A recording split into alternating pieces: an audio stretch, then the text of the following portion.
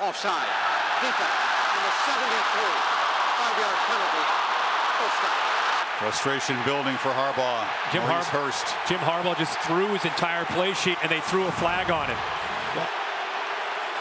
Can we call it a sideline warning? No, I, maybe it is a sideline warning, but a heck of a reaction from Jim Harbaugh after they made the call. There goes the play card. And it ended up right in the middle of the field. He threw it so far.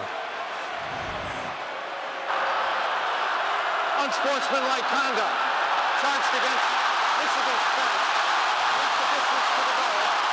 That is not a sideline warning. That is a penalty, and it'll move the ball inside the five as coach lost his cool.